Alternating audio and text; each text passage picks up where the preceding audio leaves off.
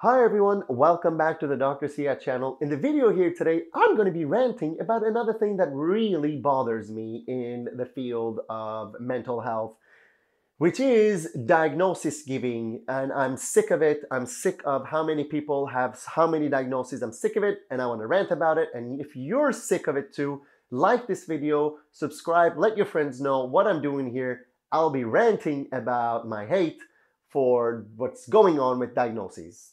Let's get started.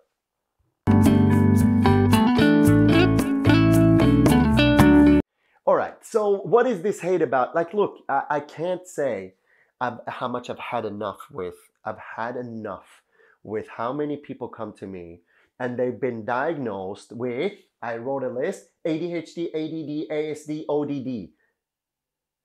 ADHD, ADD, ASD, ODD over and over and over and over and over again. I got ADHD, I got ASD, I got ADD, I got ODD. If you're actually a psychologist out there right now, you know how wrong that sounds. You know how awkward that sounds. So I think to myself then, what is wrong? How are, how all of a sudden did just about 30 to 40% of my patients turn into people who have ADHD, ADD, AD, ODD, o, the ASD. How did that happen? Surely we weren't that bad at diagnosing ADHD only some 10 years ago. Surely that many people weren't hiding, afraid to be diagnosed, and it's all coming out now. There must be something else going on. Every single patient that I talk to, every single patient that I talk to and I ask, how, you know, what was the process by which you got your diagnosis? It was something along the lines of I had a 10 minute session, a 15 minute session, a 20 minute session, a 30 minute session with my medical doctor, with my psychiatrist, with some stranger. It's like, no, listen, pace yourself. If you're mental health workers out there right now, pace yourselves, wait, do the job, and the job includes not just you being able to hand out a piece of diagnoses to your patients because it would make them feel comfortable or because they come and ask for it.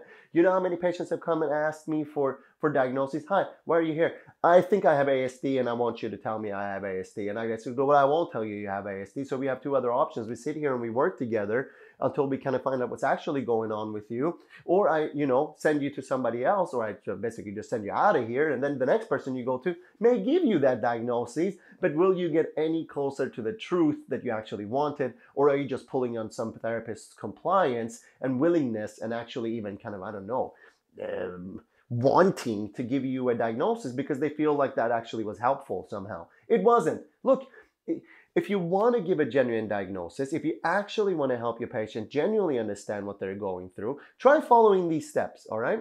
Try following these steps of do a proper analysis, do a proper assessment, do a proper time where you spend some time observing those things that the patient has told you that they have. Self report is not enough. I can't just come in and say, Yeah, I get depressed. Uh, well, why do you think that? Oh, I don't know. I mean, I, I get depressed. You know how many people have told me that they are depressed, but it actually was that their partner told them that they're depressed and they don't actually feel depressed, but their partner tells them that they must be depressed because their partner is depressed, and actually their partner might be gaslighting them or something along that line.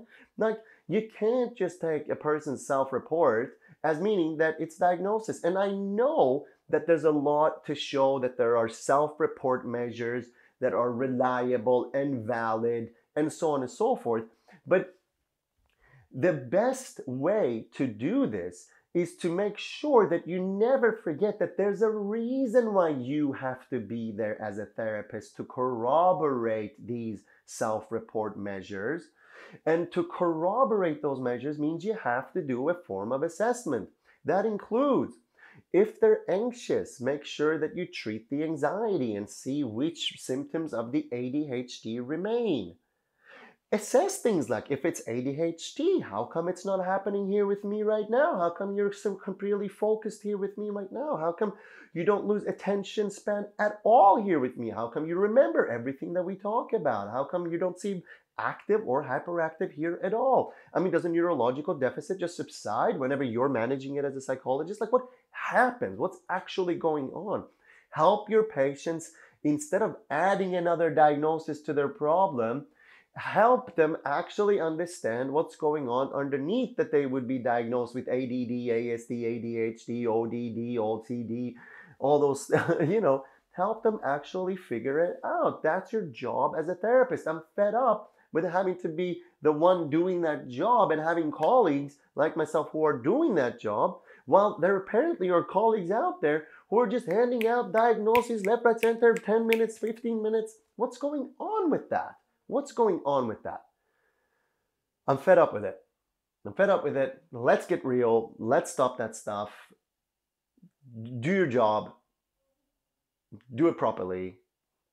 Do it as you're meant to do it. Do it ethically. And take your time. Take your time. Take your time before you give a diagnosis. Don't let anyone push you into a diagnosis. Take your time. Do the job thoroughly, and the result will be much better.